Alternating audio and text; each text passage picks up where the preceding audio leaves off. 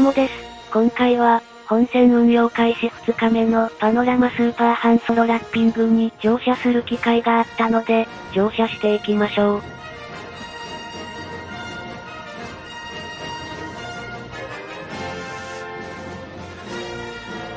ラッピングは展望席のみのようですね。平屋部分は塗装されていません。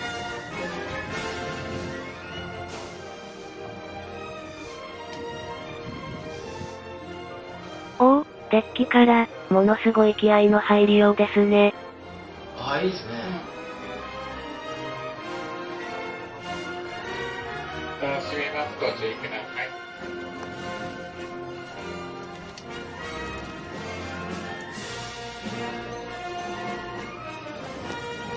い。一列目の前、机になるような部分には、何かの戦闘機でしょうか？スターウォーズは詳しくないのですが、コックピットらしき、 something が描かれています。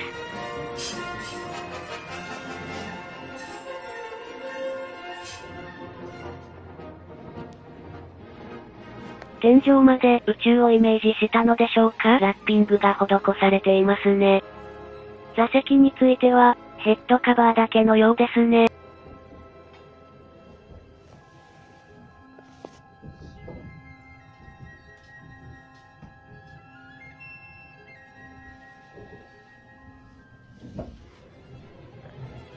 表面には多分、主人公と思われる人が、裏面には映画の公開日でしょうか？が書かれていますね。続いて、デッキ部分を見てみましょうか。展望席を出て左側には、さっきの主人公イカ役が、右側には、なんかよく映画に出てくるモンスターらしい何かがいます。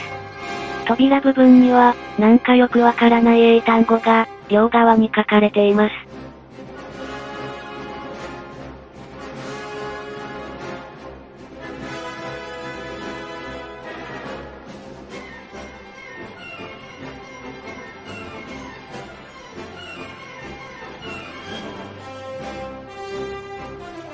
千田竹豊までの短い区間なので、すぐに千田竹豊到着です。